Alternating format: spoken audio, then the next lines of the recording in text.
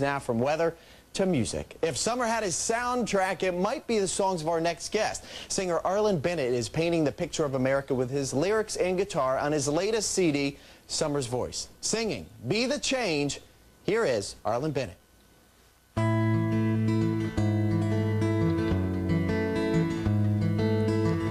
A woman stepped on the bus like any one of us after a hard working day. She walked halfway back to a seat marked for blacks and cook her plate. She was someone who really understood how a law could be a crime when she wouldn't give her seat white man on his feet. Yeah, it was time to be the change you want to see around you. Be the right in a world of wrong. Be the one, the one to make a difference. Be the change. Be the change.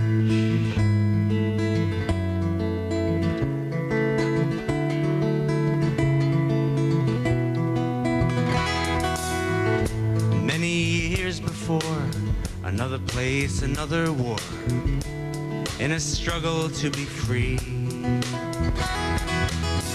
A wise barefoot man had his own plan to fight the enemy. He said it makes no sense to use violence as a means to an must rise above what they would do to us so we become like them. So be the change you want to see around you. Be the right in a world of wrong.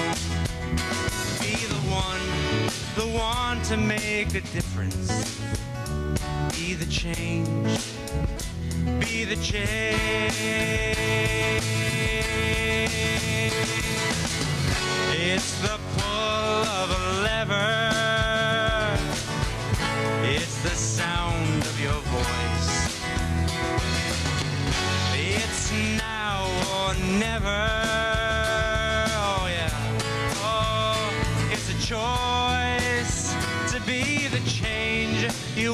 to see around you.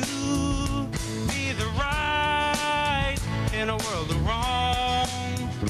Be the one, the one to make a difference.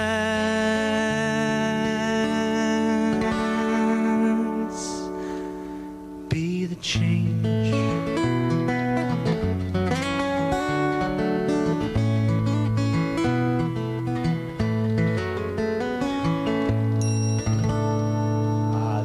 There it is, Bennett, the sounds of Summer Voice's new album, and uh, we join him here today. Thanks so much for coming in. Thank you for having Very easy listening, and I sort of have something that I call like the uh, the stepometer. If I'm if I'm tapping my foot, you know it's a pretty good good, beat. So I, I enjoyed it very much. Thank you. Uh, also, a couple other fellas in the band. Yes, Who are these guys? I'd like to introduce Greg Federico on drums. All right. Fabulous. Greg, how are you doing? Good stuff. Yes, thank you very much. And this is Andrew Connors on bass. All right, you guys sounded great today. Talk about this is your third CD. All right, does it get easier or is it harder to write these songs? You know, I think each time you do a project, you try to raise the bar.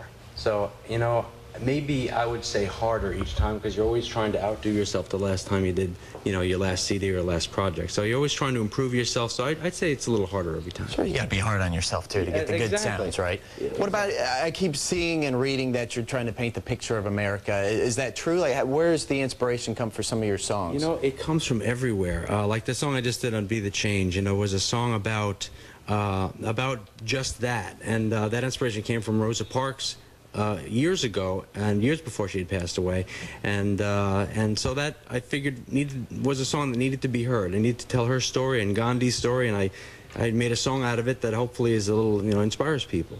Well, we're appreciative to hear your voice here today. Also, another big honor of yours, huge Mets fan, Oh, yeah. and they just uh, had a great honor for you. Tell us about that. Yeah, they. I was really lucky to have uh, the title cut of the CD, "Summer's Voice," uh, uh, used at an honorary um, at, a, at a ceremony to honor Bob Murphy, who was a broadcaster for the Mets, and I, he was a big influence on me growing up. I mean, he was always he's the voice of summer, uh, telling you know broadcasting all those Met games. And uh, when he passed away, I was really moved to remember him some way and uh, in some way and give something back. And so I did. I wrote that song, and they loved it so much at at the, at, at the Mets that they decided to use it in a big montage for him on a on a special you know a day commemorating his uh, his work. Well, very appreciated. And we're very appreciated for you coming in today. What a great soothing voice you have, and we appreciate you stopping by today. The CD is Summer's Voice. Great little picture of uh, yourself maybe on there, right? It's myself and uh, and an, an A young little lady Yes, there. yes. All right, thank you, Arlon. We thank, appreciate it. Thank you so much.